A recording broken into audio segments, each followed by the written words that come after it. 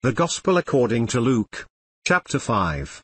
And it came to pass, that, as the people pressed on him to hear the word of God, he stood by the lake of Gennesaret.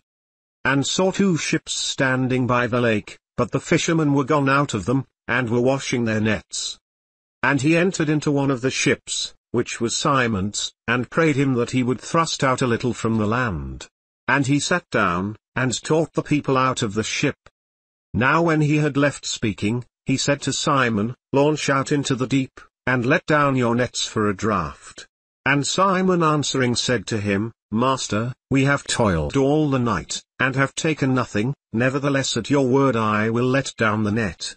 And when they had this done, they enclosed a great multitude of fishes, and their net broke. And they beckoned to their partners, which were in the other ship, that they should come and help them. And they came, and filled both the ships, so that they began to sink. When Simon Peter saw it, he fell down at Jesus' knees, saying, Depart from me, for I am a sinful man, O Lord. For he was astonished, and all that were with him, at the draught of the fishes which they had taken.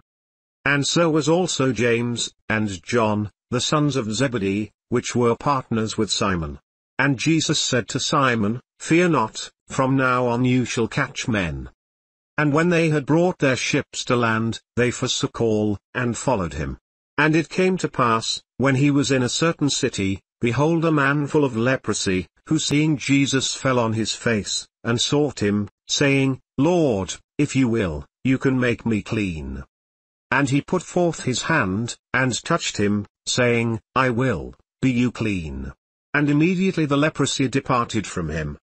And he charged him to tell no man, but go, and show yourself to the priest, and offer for your cleansing, according as Moses commanded, for a testimony to them.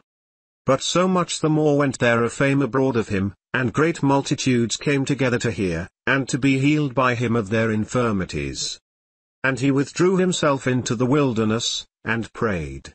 And it came to pass on a certain day, as he was teaching, that there were Pharisees and doctors of the law sitting by, which were come out of every town of Galilee, and Judea, and Jerusalem, and the power of the Lord was present to heal them.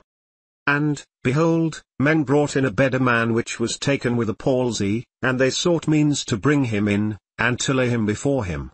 And when they could not find by what way they might bring him in because of the multitude, they went on the housetop, and let him down through the tiling with his couch into the middle before Jesus. And when he saw their faith, he said to him, Man, your sins are forgiven you. And the scribes and the Pharisees began to reason, saying, Who is this which speaks blasphemies? Who can forgive sins, but God alone? But when Jesus perceived their thoughts, he answering said to them, What reason you in your hearts? Whether is easier, to say, Your sins be forgiven you, or to say, Rise up and walk? But that you may know that the Son of Man has power on earth to forgive sins, he said to the sick of the palsy, I say to you, Arise, and take up your couch, and go into your house. And immediately he rose up before them, and took up that whereon he lay, and departed to his own house, glorifying God. And they were all amazed, and they glorified God, and were filled with fear, saying, We have seen strange things today. And after these things he went forth, and saw a publican, named Levi, sitting at the receipt of custom, and he said to him, Follow me. And he left all, rose up, and followed him. And Levi made him a great feast in his own house, and there was a great company of publicans and of others that sat down with them. But their scribes and Pharisees murmured against his disciples, saying, Why do you eat and drink with publicans and sinners? And Jesus answering said to them, They that are whole need not a physician, but they that are sick. I came not to call the righteous, but sinners to repentance. And they said to him, Why do the disciples of John fast often, and make prayers, and likewise the disciples of the Pharisees, but your eat and drink? And he said to them, Can you make the children of the bridal chamber fast, while the bridegroom is with them? But the days will come, when the bridegroom shall be taken away from them, and then shall they fast in those days.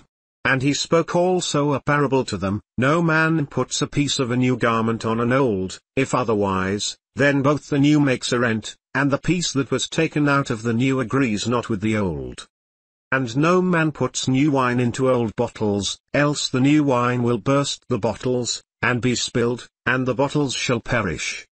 But new wine must be put into new bottles, and both are preserved. No man also having drunk old wine straightway desires new, for he said, the old is better.